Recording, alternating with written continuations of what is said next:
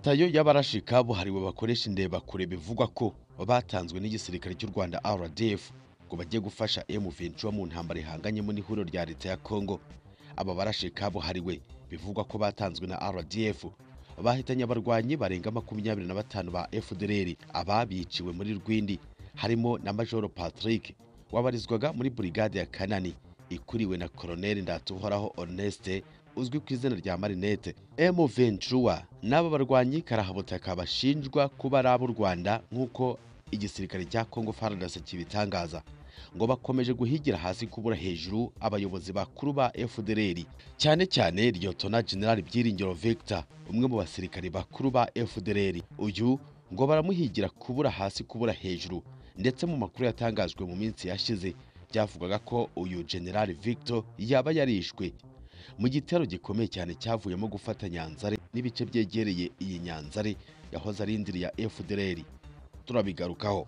Nanone kandi ku rundi ruhande M23 yamaze kwigarurira agace ka Vicumbi gakize ku bworozi bw'amafi iyi M23 yafashe aka gace nta mirwano ihambaye habaye hagati yayo n'ihuriro ry'ingabo za leta kubera ko batinye kurwanya M23 ngo itabasunikira mu mazi y'ikiyaga. Iyi M23 ikomeje kwigarurira ibice bitandukanye muri Masisi ndetse na Rucuru ibikomeza gushimangira intsinzi ya M23 ku rugamba bahanganyemo n'indwanyi za Perezida Felix Antoine Tshisekedi Chilombo ako kandi Perezida wa Repubulika y'u Rwanda Paul Kagame yaganiriye na Perezida wa Angola ku bijyanye n'umutekano ukomeje kuba iyanga mu burasirazuba bwa Congo.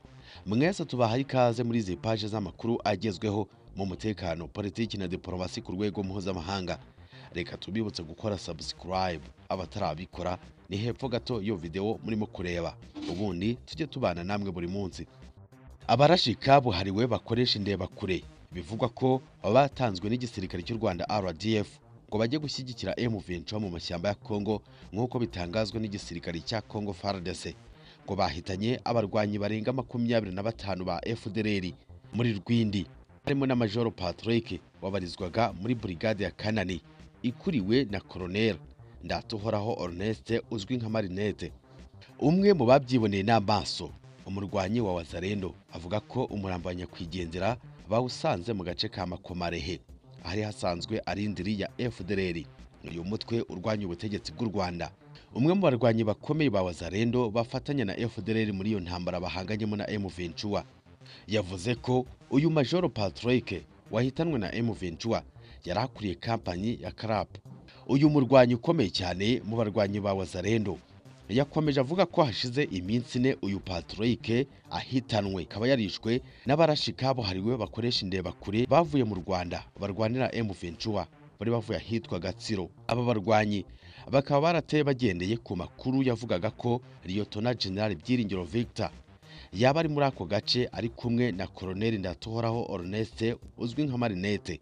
Nyuma rero umutwe wa CRAP nk'ibisanzwe wagombaga kurwana inkundura kugira ngo abayobozi ba FDLR badafatwa mpiri na M23 ko bajyanwe mu Rwanda kibuno mpamaguru. Ibi bikaba byaraviriyemo uyu Major Patrick kwicwa. Uyu mutwe wa M23 n'abo barwanyi kabuhariwe bashinjwa ko batanzwe n'igisirikare cy'u Rwanda RDF ngo bakomeje guhigira hasi no hejuru Lieutenant General Byiringiro Victor uzwi ku mazina General Rumuri. Ariko ubundi amazina ye nyakuri yitwa Iyamuremye Gaston yavutse mu mwaka w'igihumbi kimwe magana cyenda mirongo ine na rimwe. Avukira mu cyahoze ari komine Nyakinama segiteri Muko ubu ni mu karere ka Musanze mu majyaruguru y'u Rwanda. Umurenge wa Muko akaba afite impamyabumenyi y'ikirenga mu by'amashanyarazi yakuye mu gihugu cy'Ububirigi.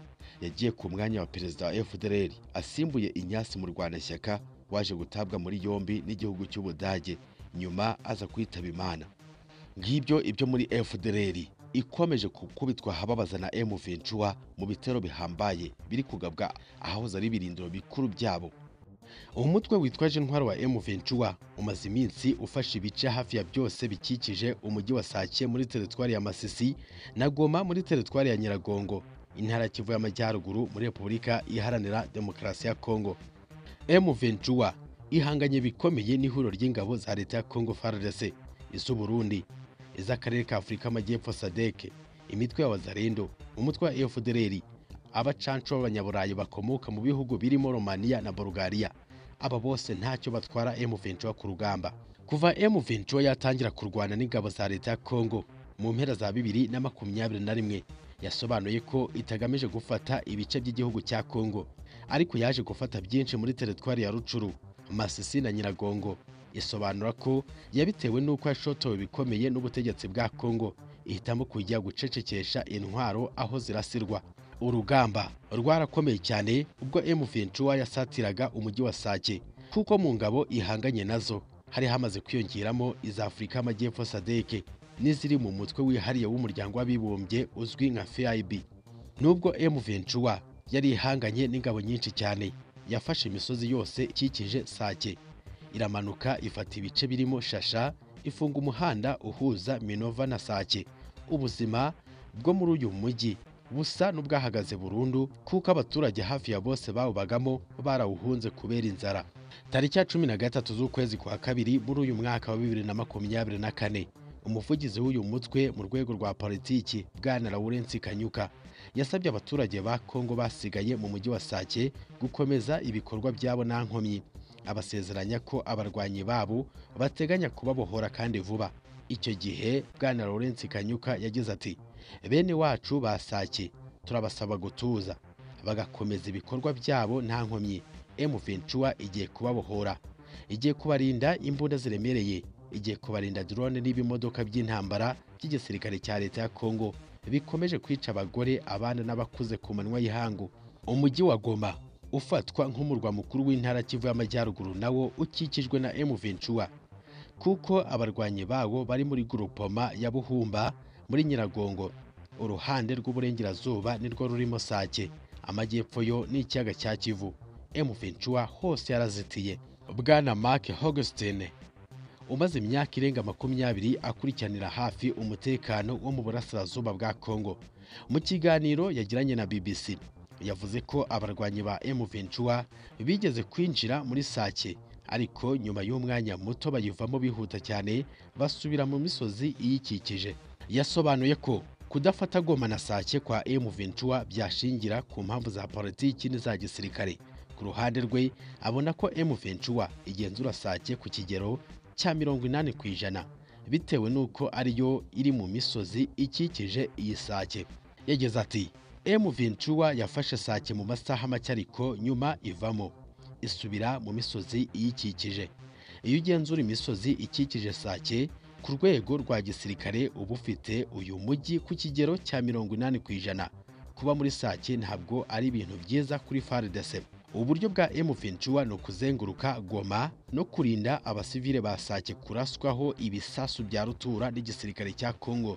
Barashaka gukumira ibitero kuri Sake kugira ngo badasenya inzu.